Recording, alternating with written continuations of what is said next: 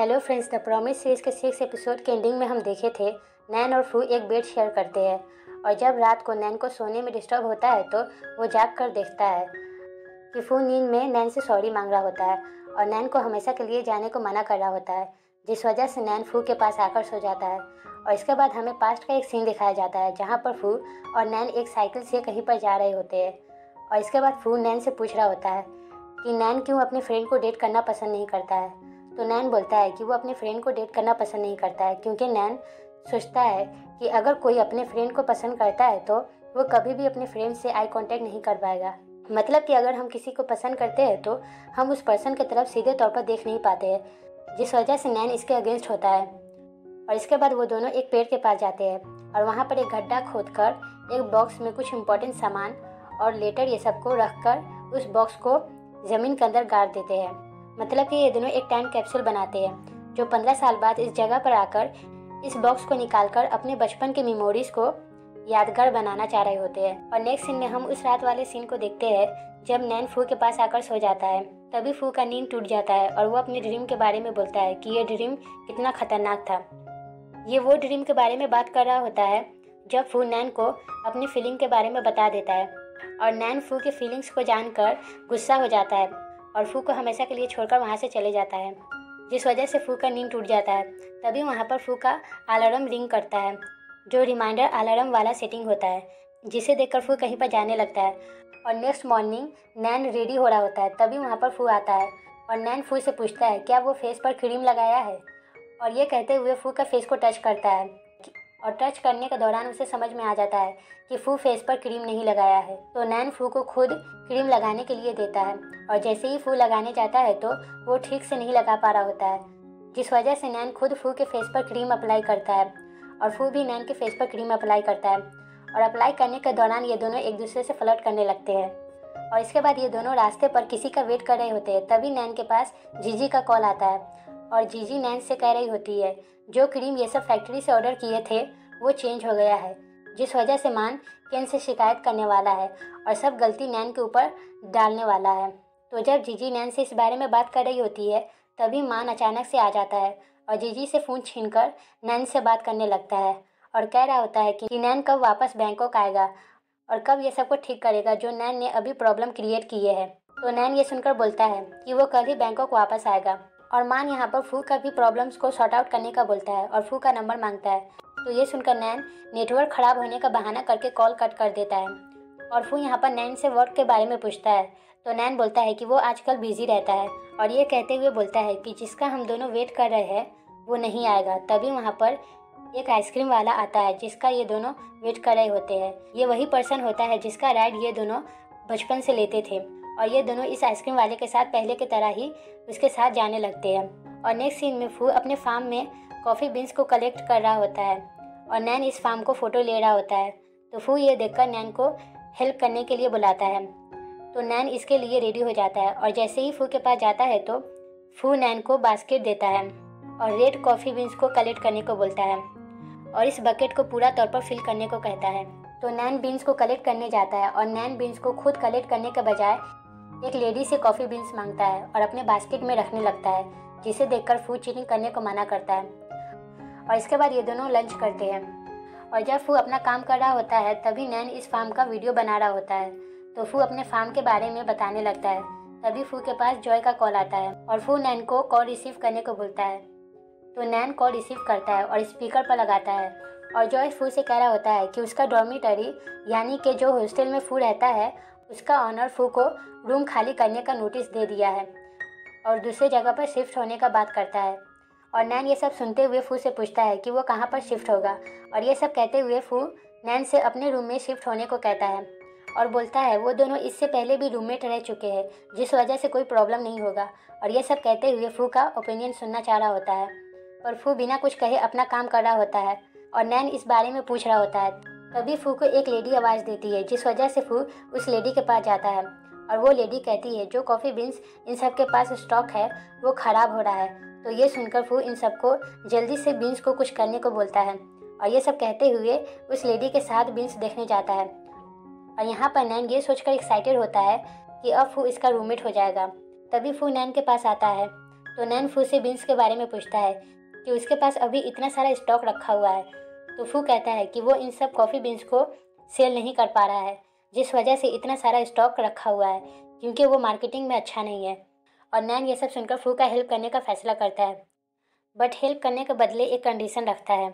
अगर फू उसके साथ रहने के लिए रेडी होगा, तभी वो हेल्प करेगा। तो फू ये सब सुनकर इसके लिए रेडी हो जाता है। और नैन एक ब्लॉग वीडियो बनाता है। और जैसे ही स्टार्ट करता है तो फू काफ़ी नर्वस हो जाता है, जिस वजह से नैन का वीडियो अच्छा नहीं बन पा रहा होता है। और नैन फू को नॉर्मली से सब डिटेल बोलने को कहता है। पर फू बहुत नर्वस होता है, जिस वजह से कहता है कि उससे ये सब नहीं होगा, क्योंकि वो इन सब में अच्छा नहीं है। तो जैसे ही नैन ये सुनता है तो वो फू को कंफर्ट करने के लिए बोलता है कि फू डेवंटे का लेटेस्ट प्रेजेंटर है। तो क्या फू स्टूडियो में वापस जाना चाहता है? यानी कि नैन इनडायरेक्टली तौर पर फू से प्रेजेंटर बनने के लिए पूछ रहा होता है और वो अब रेडी हो जाता है और फू बहुत ही कॉन्फिडेंट के साथ अपने फार्म के बारे में बताने लगता है। और नैन वीडियो बनाने लगता है, तभी नैन के पास मान के मैसेज आता है और मान नैन से फू का नंबर माँगता है, जिस वजह से नैन परेशान हो जाता है और फू नैन को परेशान देखकर पूछता है कि वो सब नैन को इतना डिस्टर्ब क्यों कर रहे हैं? तो नैन बोलने लगता है कि ऐसा कुछ नहीं है, बस वो सब अपने न्यू प्रोजेक्ट के लिए फिर से फू के साथ काम करना चाहते हैं, जिस वजह से मैंने खुद इन सबको मना कर दिया था कि फू प्रेजेंटर अब नहीं बनेगा बट फिर भी मान तुम्हारा नंबर मांग रहा है, इस बारे में डिस्कस करने के लिए।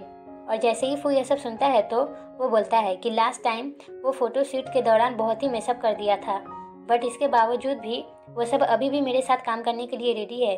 तो नैन हाँ कहता है और बोलता है कि वो सब अगेन फू के साथ काम करने के लिए काफ़ी कॉन्फिडेंट है।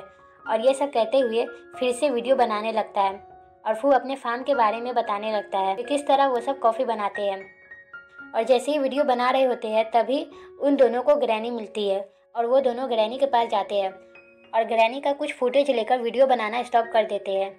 और नैन बोलता है कि वो अब बहुत प्यासा है और ग्रैनी को ड्रिंक के लिए थैंक्स कहता है और वो तीनों बातें करने लगते हैं।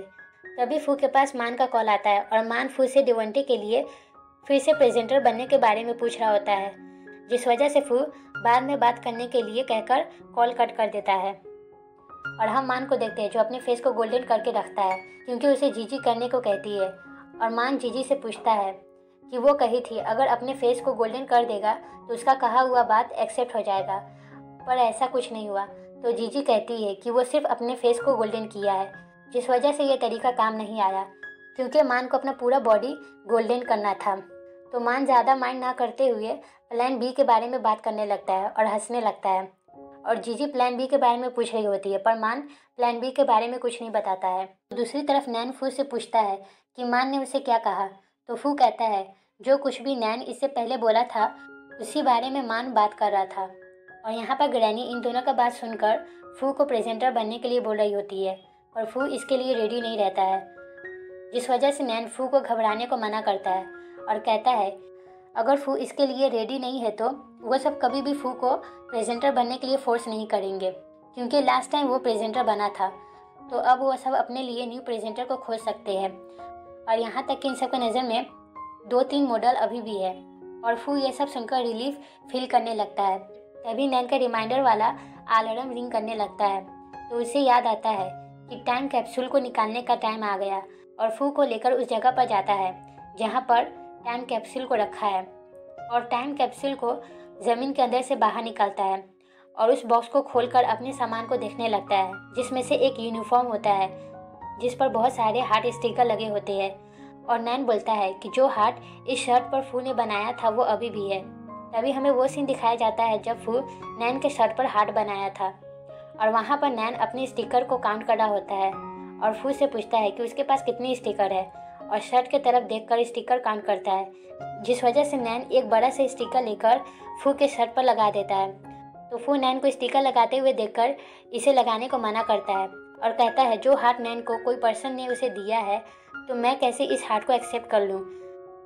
तो नैन ये सब सुनकर बोलता है कि अब ये सब मेरा है तो फू को इसे एक्सेप्ट करने में कोई प्रॉब्लम नहीं होना चाहिए। और नैन ये भी कहता है कि उसे 130 लोग पसंद करते हैं, जिस वजह से फू नैन के शर्ट पर हार्ट के शेप वाला पेन से ड्रॉ कर देता है। और इसके बाद ये दोनों अपना सामान देख रहे होते हैं। तभी नैन फू से लेटर के बारे में पूछता है, जो लेटर फू ने इस बॉक्स में रखा था, वो कहाँ पर है? तो फू ये सुनकर झूठ बोलने लगता है कि वो कोई भी लेटर इस बॉक्स में नहीं रखा था। तभी लास्ट नाइट वाला सीन दिखाया जाता है, जब फू कहीं पर चले जाता है और फू इसी जगह पर आकर ये बॉक्स को ज़मीन के अंदर से बाहर निकाल कर इसमें रखा हुआ लेटर को अपने पास रख लेता है। बट फिर भी नैन लेटर के बारे में पूछता है, तभी नैन को पार्टी आवाज़ देता है, जो चियांगमाई में आता है।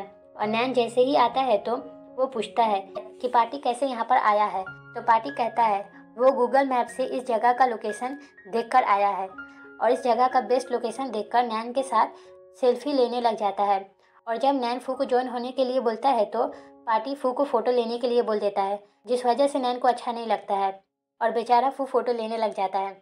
और इसके बाद नैन फू के साथ फ़ोटो लेने के लिए पार्टी को कहता है और अपना पुराना फ़ोटो जो टाइम कैप्सूल से निकाला था, वो वाला पार्टी को देता है। इसी तरह का फ़ोटो लेने के लिए और पार्टी फ़ोटो को देखकर थोड़ा बहुत सैड हो जाता है। और इसके बाद ये तीनों फार्म हाउस वापस जा रहे होते हैं तो पार्टी थक जाने की वजह से आधा रास्ता में रेस्ट लेने को कहता है। और वहाँ पर नैन पार्टी से कल वापस बैंकॉक चलने के बारे में बात कर रहा होता है और कहता है, वहाँ पर जाकर सबसे पहले जो इश्यू क्रिएट हुआ है उससे सॉर्ट आउट करेगा। तो पार्टी ये सब सुनकर नैन को रिलैक्स होने को कहता है और बोलता है कि वो ये इशू को मैनेज कर लिया है, जिसे सुनकर नैन बहुत खुश हो जाता है। और पार्टी के साथ हैप्पली बात करने लगता है। और ये सब देखकर फू इन दोनों से कहता है, क्या उन दोनों को जॉब इतना इम्पोर्टेंट है? तो नैन ये सब सुनकर बोलता है कि फू कभी भी इन सब के जॉब को नहीं समझ पाएगा, क्योंकि इस फ़ील्ड में हर एक कंपनी को ओवरटेक करके आगे बढ़ना होता है। तो जैसे ही नैन ये सब बोल रहा होता है, तभी फू कहता है, किसी काम में जल्दी नहीं करने के लिए, क्योंकि वो काम कभी भी अच्छा नहीं होता। है तो हमें सब्र करते हुए वो काम करनी चाहिए, जिस वजह से हमें सोचने और समझने का नज़रिया बेहतर हो जाता है। तो ये सब सुनकर पार्टी बोलने लगता है कि फू एक कॉफ़ी फार्मर है तो वो कभी भी रैट रेस के बारे में नहीं समझ सकता। अगर वो सब फू की तरह स्लो रहकर काम करना शुरू कर दे तो वो दोनों अपनी लाइफ में बहुत कुछ पीछे छोड़ देंगे। तो फू ये सुनकर कहने लगता है कि उसका कहने का मतलब ये नहीं था कि वो दोनों अपना करियर को गिव अप कर दे। वो बस ये कहना चाह रहा होता है, अगर ये सब सबर रखे तो ये दोनों स्ट्रेस फ्री रहेंगे और मेहनत करना इस दुनिया का बेस्ट थिंग है। और इसके बाद पार्टी मान के बारे में नैन से बात करने लगता है। और कहता है कि मान सोचता है कि नैन इन सबसे कुछ छुपा रहा है और यहाँ तक कि नैन खुद नहीं चाहता है कि फू प्रेजेंटर बने। तो ये सुनते हुए नैन इशारों से पार्टी को बोलने के लिए मना करता है और फू को ये सब बातें माइंड नहीं करने को कहता है और मेन पॉइंट को घुमाने लगता है। तो पार्टी कहता है, क्या वो यहाँ पर फू को प्रेजेंटर के लिए अग्री करवाने नहीं आया है? तो जैसे ही पार्टी ये बोलता है तो फू नैन से पूछने लगता है कि नैन पहले इन सब के बारे में क्यों नहीं बताया? तो नैन कहता है कि वो जानता था कि फू कभी भी इसके लिए रेडी नहीं होगा। जिस वजह से वो कभी भी फू को फोर्स नहीं करना चाहता है। तो फू नैन को बोलता है, अगर नैन इस बारे में पहले से बता देता तो वो अपना माइंड चेंज कर सकता था और हेल्प करने के लिए रेडी रहता और ये कहते हुए कॉफ़ी डिलीवर करने जाता है। और इसके बाद ये तीनों कॉफ़ी डिलीवर करने जाते हैं और वहाँ पर नैन वॉशरूम में चले जाता है। और जब फू कॉफ़ी डिलीवर कर रहा होता है, तभी फू वहाँ से कुछ पानी का बोतल खरीद लेता है और जैसे ही पैसा निकालता है, तभी उसके पॉकेट से वो लेटर गिर जाता है। और लेटर को गिरते हुए पार्टी देख लेता है। तो पार्टी उस लेटर को नीचे से उठाता है और जैसे ही फू को देने जाता है, तभी वो लेटर को देख लेता है और देखते हुए उस लेटर को अपने पास रख लेता है। और इसके बाद जब रात हो जाती है तो ये तीनों ग्रहणी के साथ डिनर कर रहे होते हैं और वहाँ पर पार्टी नैन को एक बाइट अपनी तरफ़ से फील करता है। तो फू ये देखकर जेलिस फील करने लग जाता है और ग्रैनी ये देखते हुए नैन को कहती है कि उसके पास बहुत अच्छे फ्रेंड है, सिर्फ़ फू को छोड़कर, क्योंकि फू हमेशा फार्म में ही रहता है। और वो कभी भी किसी के साथ हैंग आउट नहीं करने जाता है। और ये सब कहकर फू को परेशान करने लगते हैं। तो फू को अच्छा नहीं लग रहा होता है, जिस वजह से फू जाने लगता है, बियर लेने के बहाने से। और जैसे ही नैन फू के साथ जाने वाला होता है तो पार्टी नैन को यहीं पर ग्रैनी के साथ रहने को कहकर फू के साथ चले जाता है। और ग्रैनी नैन को फू को देखभाल करने की ज़िम्मेदारी देती है, क्योंकि ग्रैनी हमेशा के लिए फू के साथ रहने वाली नहीं है। तो इसी वजह से वो फू को लेकर बहुत परेशान है, क्योंकि फू किसी भी पर्सन से आसानी से खुलकर बात नहीं कर पाता है और ना ही वो अपने फीलिंग्स शेयर कर पाता है। तभी हमें वो सीन दिखाया जाता है जब फू के फादर का फ्यूनरल होता है और फू बहुत ज़्यादा रो रहा होता है तो ग्रैनी फू को उसके मदर के साथ मेलबर्न रहने के लिए बोल रही होती है और फू मेलबर्न जाने के लिए मना कर देता है और इसके बाद नैन ग्रैनी को बोलता है कि वो कभी भी फू को नहीं छोड़ेगा, बल्कि वही है जो हमेशा से भागता आ रहा है। और ये कहते हुए बोलता है कि मैं सिर्फ़ इसलिए परेशान हूँ कि फू क्यों दस साल पहले छोड़कर चले गया था? और ग्रैनी से पूछने लगता है, क्या उन्हें मालूम है इस बारे में? तो ग्रैनी कहती है, अगर फू इस बारे में रेडी हो जाएगा तो वो खुद उसे बता देगा और ये कहते हुए सोने के लिए चले जाती है। और इसके बाद जब फू बियर लेने जा रहा होता है, तभी पार्टी फू को उसका लेटर देता है और कहता है, फू क्यों अपना फीलिंग नैन से छुपा कर है? वो क्यों नहीं नैन के सामने अपना फीलिंग कन्फ्यूज़ कर रहा है? और यहाँ तक कि फू को बहुत से ऐसे चांस मिले हैं जो नैन को बता सकता था। तो फू क्यों इन सब चांस को मिस कर रहा है? और ये कहते हुए बोलता है, नैन को अपना फीलिंग बताने जा रहा हूँ, क्योंकि मैं और अपना फीलिंग छुपा नहीं सकता। और जिस तरह मैं चाहता हूँ, अगर वो ना हो तो मैं इसे एक्सेप्ट करने के लिए रेडी हूँ। क्योंकि बिना कोशिश किए बगैर और सामने वाला क्या सोचता है, ये जानने बगैर, ये बेहतर है कि हम एक बार कोशिश करें। और ये सब बातें जब पार्टी बोल रहा होता है तो फू उसे कुछ रिप्लाई नहीं देता है। जिस वजह से पार्टी वहाँ से चले जाता है। और नैन के पास आकर नैन से कहता है कि उसे कुछ इंपॉर्टेंट बात डिस्कस करनी है। और नैन को कहीं और चलकर बात करने को बोलता है। और जब नैन पार्टी के पास आता है तो पार्टी नैन को अपने पास आकर बैठने को कहता है। तो नैन उसके पास जाकर बैठ जाता है। और पार्टी नैन के शोल्डर पर सर रख कर बोलता है कि वो उसे बहुत पसंद करता है। यानी कि पार्टी अपना फीलिंग कन्फेस कर लेता है। और नैन पार्टी का फीलिंग्स को जानकर बोलता है कि तुम मेरे बेस्ट फ्रेंड हो और मैं कभी भी तुम्हें एक फ्रेंड से बढ़कर कुछ नहीं सोचा। तो जैसे ही नैन ये सब बोल रहा होता है तो ये सब सुनकर पार्टी रोने लगता है और पूछता है कि वो ऐसा क्यों नहीं कर सकता। दूसरे लोग अपने फ्रेंड के साथ डेट करते हैं और बाद में जाकर एक कपल बन जाते हैं और ये कहते हुए अनदर चांस माँगता है। बट नैन साफ़ तौर पर बोल देता है कि उसके लिए फ्रेंड जस्ट फ्रेंड है और इसके अलावा और कुछ नहीं है। तो इसके बाद पार्टी बोलता है कि वो अब उसे बोलकर रिलीफ फील कर रहा है और थैंक्स करता है हमेशा रिस्पेक्ट देने के लिए। और ये सब कहकर सोने के लिए जाने लगता है, तभी नैन रुकता है और पार्टी को गले लगता है और कहता है कि वो कभी भी पार्टी को डिसरिस्पेक्ट नहीं करेगा। वो हमेशा उसका बेस्ट फ्रेंड रहेगा और थैंक्स करता है हमेशा साथ रहने के लिए। और ये सब कहते हुए दोनों काफ़ी इमोशनल हो जाते हैं और यहाँ पर ये सब होते हुए फू दूर से देख रहा होता है और उसे वो सब याद आने लगती है जब फू नैन से पूछता है कि वो फ्रेंड को डेट क्यों नहीं कर सकता? तो नैन बोलता है कि वो फ्रेंड को डेट करना पसंद नहीं करता है। और ये सब सोचते हुए फू जॉय को कॉल करता है। और जॉय को कहता है कि दूसरा प्लेस देखने के लिए, यानी कि रहने के लिए जगह देखने को कहता है। और यहीं पर ये एपिसोड ख़त्म हो जाती है। और इसके बाद एक्स्ट्रा फुटेज में हम देखते हैं, जब नैन फू का अपना रूम में शिफ्ट होने को कह रहा होता है, तभी नैन जीजी का कॉल लगाता है। और जीजी को एक क्लीनर खोजने को कहता है। और बोलता है कि फू अब उसके साथ रहने वाला है। और ये कहते हुए काफ़ी एक्साइटेड नैन को देखते हैं। फ्रेंड्स अगर आप सभी को ये सीरीज़ अच्छी लग रही हो तो प्लीज़ लाइक एंड सब्सक्राइब करना ना भूलें। और कमेंट करके ज़रूर अपना थॉट शेयर करें।